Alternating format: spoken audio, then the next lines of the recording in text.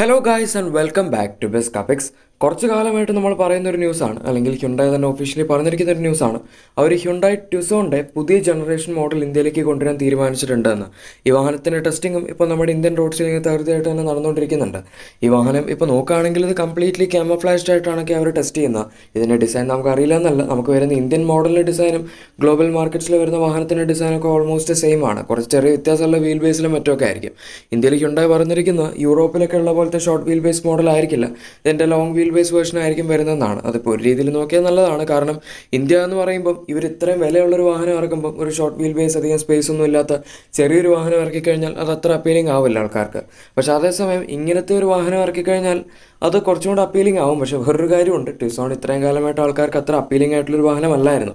രണ്ടായിരത്തി അഞ്ച് ആറ് ആ ഒരു സമയത്താണ് ടിസോൺ ആദ്യമായിട്ട് ഇന്ത്യയിൽ ഇറങ്ങുന്നത്. അതിന്റെ ഫസ്റ്റ് ജനറേഷൻ മോഡൽ അന്നത്തെ കാലത്ത് ആ വാഹനം ഒരു അട്ടർ ഫ്ലോപ്പ് ആയിരുന്നു. പക്ഷെ അത് കഴിഞ്ഞ് തേർഡ് ജനറേഷൻ അതായത് നമുക്ക് ഇന്ത്യയിൽ ലാസ്റ്റ് വന്ന മോഡലൊക്കെ നോക്കുകയാണെങ്കിൽ പിന്നെയും അതിന് ഇതിന്റെ സെഗ്മെന്റിൽ വലിയ തിരക്കേടില്ലാത്ത സെയിൽസ് കിട്ടുന്നുണ്ട് എന്ന് പറയാം. തിരക്കേടില്ലാത്ത സെയിൽസ് എന്ന് പറയുമ്പം ഒരു എൺപത് മുതൽ നൂറ്റമ്പത് വരെയൊക്കെയാണ് ഈ വാഹനത്തിന് ഒരു മാസം സെയിൽസ് കിട്ടാറ്. ഇത് സി കെ ഡി അഥവാ കംപ്ലീറ്റ്ലി നോക്ക് ഡൗൺ യൂണിറ്റിന്റെ രൂപത്തിലായിരുന്നു ഈ വാഹനം ഇന്ത്യയിലേക്ക് വന്നിരുന്നത്. അതായത് ഫുള്ളി ഇമ്പോർട്ടഡ് അല്ല ഇന്ത്യയിലേക്ക് ഇവർ കുറച്ച് പാർട്സ് പാർട്സ് ആയിട്ട് കൊണ്ടുവന്നിട്ട് ഇവിടെ വന്ന് ലോക്കലി അസംബിൾ ചെയ്യാണ് ചെയ്യാറ്. അതുകൊണ്ട് സി ബി യു വെച്ച് കമ്പയർ ചെയ്യുകയാണെങ്കിൽ റിലേറ്റീവ്ലി കുറച്ചുകൂടി ചീപ്പായിരിക്കും ഭയങ്കര ചീപ്പൊന്നും ആയിരിക്കില്ല കാരണം ഇപ്പോൾ ഈ ഇതിന്റെ തൊട്ടുമുമ്പുള്ള വാഹനം നോക്കുകയാണെങ്കിൽ തന്നെ ഇരുപത്തിരണ്ടര മുതൽ ഇരുപത്തി ഏഴര ലക്ഷം രൂപ വരെ അതിന്റെ ഷോറൂം പ്രൈസ് ഉണ്ടായിരുന്നു. ഈ വാഹനം തന്നെ ഒരുപാട് ഓപ്ഷൻസിൽ അവൈലബിൾ ആയിരുന്നു. ഇതിന്റെ two litre petrol two litre ഡീസലൊക്കെ ആയിട്ട്.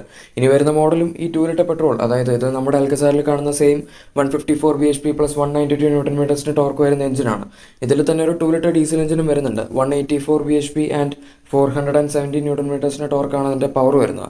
നല്ല എഞ്ചിൻസ് ആണ് രണ്ടും പെട്രോൾ എഞ്ചിൻ കുഴപ്പമില്ല ഡീസൽ എഞ്ചിൻ നല്ലതാണ്. ഇതിന് മുമ്പുണ്ടായിരുന്ന മോഡൽ ഓൾ വീൽ ഡ്രൈവും ഹ്യുണ്ടായി കൊടുത്തിരുന്നു. ഇനിയിപ്പോൾ എന്തായാലും ഇതിന്റെ ഫോർത്ത് ജനറേഷൻ മോഡൽ വരുമ്പോൾ ഇതിലും അവർ ഓൾ വീൽ ഡ്രൈവ് കൊടുക്കുമെന്ന് തന്നെയാണ് നമ്മൾ എക്സ്പെക്ട് ചെയ്യുന്നത്. ഈ വാഹനത്തിന്റെ പുതിയ വേർഷൻ എന്ന് പറയുമ്പം ഇതിൽ ഒരുപാട് ചേഞ്ചസ് ഉണ്ടാവും. ഇതിപ്പോൾ ഒരു ജനറേഷൻ അപ്ഡേറ്റ് ആയതുകൊണ്ട് തന്നെ ഇതിന്റെ ഫുൾ ഇന്റീരിയർ എക്സ്റ്റീരിയർ ഫീച്ചേഴ്സ് ഇക്കാര്യങ്ങളെല്ലാം തന്നെ ഒരുപടി മുന്നിലായിരിക്കും. ഇപ്പോഴത്തെ അവസ്ഥയിൽ നോക്കുകയാണെങ്കിൽ ക്രെറ്റ എടുത്ത ഒരാൾക്ക് ക്രെറ്റയിൽ നിന്ന് അപ്ഗ്രേഡ് ചെയ്യാൻ വേറൊരു വാഹനമില്ല. ഉണ്ട് ഇപ്പോൾ കറണ്ട് ടു സോൺ ഉണ്ട്. പക്ഷേ കറണ്ട് സോൺ എന്ന് പറയുമ്പോൾ ഇത് ഇതിനു മുമ്പ് ഉണ്ടായിരുന്നു നമുക്ക് ഈ സെക്കൻഡ് ജെൻ ക്രെറ്റ ഇറങ്ങുന്നതിന് മുമ്പുള്ള ഫസ്റ്റ് ജെൻ ക്രെറ്റ പോലത്തെ ആ ഒരു ഡിസൈൻ ഫിലോസഫിയാണ് അവർ അതിൽ ഫോളോ ചെയ്തിരുന്നത്. അതുകൊണ്ട് അതിലേക്ക് പോവുകയാണെങ്കിൽ കുറച്ചുകൂടെ ഒരു പഴയ ക്രെറ്റ വൈബ്സ് അല്ലെങ്കിൽ കുറച്ചൊരു പഴയ വാഹനത്തിന്റെ ഒരു വൈബ്സ് ആണ് ആ വാഹനത്തിൽ വരിക. പക്ഷേ അതേസമയം ഇനിയിപ്പോൾ കുഴപ്പമില്ല. ഇനിയിപ്പോൾ ഒരു ക്രെറ്റ യൂസർ കറണ്ട് ഒരു സെക്കൻഡ് ജെൻ ക്രെറ്റ യൂസർ ആണെങ്കിൽ കുറച്ച് കാലം കഴിയുമ്പോൾ അപ്ഗ്രേഡ് ചെയ്യാനാണെങ്കിൽ ഇങ്ങനെ ഒരു പുതിയ ട്യൂസോൺ അവൈലബിൾ ആണ്. മാത്രമല്ല മൊത്തത്തിൽ ഇപ്പോൾ ഇതിന്റെ ഡിസൈൻ അല്ലെങ്കിൽ ഈ വാഹനത്തിന് ഇന്റീരിയർ സ്പെക്സും കാര്യങ്ങളൊക്കെ നോക്കുകയാണെങ്കിലും എന്തായാലും ക്രെറ്റേക്കാളൊക്കെ ഇത് വളരെ മുന്നിലാണ്. ഇതിപ്പോൾ സി കെ ഡി ആയിട്ട് തന്നെ വരികയാണെങ്കിൽ ഇതിന്റെ ഇന്റീരിയർ ക്വാളിറ്റി അങ്ങനത്തെ കാര്യങ്ങളും കുറച്ചും കൂടെ ബെറ്റർ ആയിരിക്കും. ഇന്ത്യയിൽ തന്നെ ഒരു ഫുള്ള് പ്രൊഡക്ഷൻ ഇന്ത്യയിൽ എന്തായാലും നടത്താൻ പോകുന്നില്ല അത് ഉറപ്പാണ്. സി കെ ഡി ആയിട്ട് വരുമെങ്കിൽ തന്നെ വലിയ കുഴപ്പമില്ല. അതിന്റെ പ്രൈസൊക്കെ അപ്പോഴും അത്യാവശ്യം കോമ്പറ്റേറ്റീവ് ആയിരിക്കും. പിന്നെ ഇത് കോമ്പറ്റ് ചെയ്യുന്ന ഇതിന്റെ സെഗ്മെന്റിൽ നോക്കുകയാണെങ്കിൽ ഏറ്റവും ബെസ്റ്റ് സെല്ലിംഗ് വാഹനമായിട്ടാണ് അതാണ് ജീപ്പ് കോമ്പസ് കോമ്പസിന് തന്നെ തൊള്ളായിരം ആയിരം ആയിരത്തി ഒരുന്നൂറ് ഇരുന്നൂറ് വരെയൊക്കെയാണ് മാക്സിമം സെയിൽസ് കിട്ടാറ്. അതിനെ വെച്ച് നോക്കുമ്പോൾ എന്തായാലും ഈ വാഹനത്തിന് സെയിൽസ് വളരെ കുറവാണ്. പക്ഷെ എന്നാലും കോമ്പസിന്റെ ടോപ്പ് മോഡലിന് ഏകദേശം അതായത് അതിന്റെ ട്രെയിൽ ഹോക്കിന് ഏകദേശം മുപ്പത്തൊന്ന് ലക്ഷം രൂപ വരെ ഷോറൂം പ്രൈസ് വരുന്നുണ്ട്. ഇനി ട്രെയിൽ ഹോക്ക് അല്ലാണ്ട് മോഡൽ എസിന്റെ തന്നെ ഓൾ വീൽ ഡ്രൈവ് എടുക്കുകയാണെങ്കിൽ അതിനും ഏകദേശം മുപ്പത് ലക്ഷം രൂപയോളം ഷോറൂം പ്രൈസ് വരുന്നുണ്ട്. അതുകൊണ്ട് പ്രൈസിങ്ങിന്റെ കാര്യത്തിൽ കോമ്പസ് ഒട്ടും പുറകിലല്ല എന്ന കാര്യം നമുക്ക് എല്ലാവർക്കും അറിയാം. ഇനിയിപ്പോൾ പുതിയ ഡിസ്കൗണ്ട് വരികയാണെങ്കിലും എനിക്ക് തോന്നുന്നത് ഒരു ട്വന്റി ഫൈവ് ടു തേർട്ടി ലാക്സിന്റെ ഇടയിൽ അവർ ഈ വാഹനത്തിന്റെ എല്ലാ വേരിയൻസും കൂടെ ആയിട്ട് പ്രൈസ് ചെയ്യുമായിരിക്കും എന്നാണ്. സൈസിന്റെ കാര്യത്തിൽ ഇത് മിക്കവാറും കോമ്പസിലും കുറച്ചുകൊണ്ട് വലുതായിരിക്കും.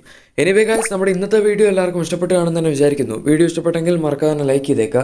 ഇതുപോലുള്ള വാഹനങ്ങളുടെ കൂടുതൽ അപ്ഡേറ്റ്സും ഡീറ്റെയിൽസും എല്ലാം നിങ്ങൾക്ക് തന്നെ ആദ്യം ലഭിക്കാൻ താല്പര്യമുണ്ടെങ്കിൽ മറക്കാതെ തന്നെ ചാനൽ സബ്സ്ക്രൈബ് ചെയ്യുക. കൂടെ സൈഡിൽ കൊടുത്തിരിക്കുന്ന ആ ബെൽ ബട്ടണോടെ പ്രസ് ചെയ്ത് അത് ഓൾ നോട്ടിഫിക്കേഷൻസ് ആക്കി വെക്കുകയാണെങ്കിൽ ഞങ്ങളുടെ അപ്കമിംഗ് വീഡിയോസിന്റെ അപ്ഡേറ്റ്സ് എല്ലാം നോട്ടിഫിക്കേഷൻസ് ആയിട്ട് നിങ്ങൾക്ക് തന്നെ ആദ്യം ലഭിക്കുന്നതായിരിക്കും. Thank for watching my video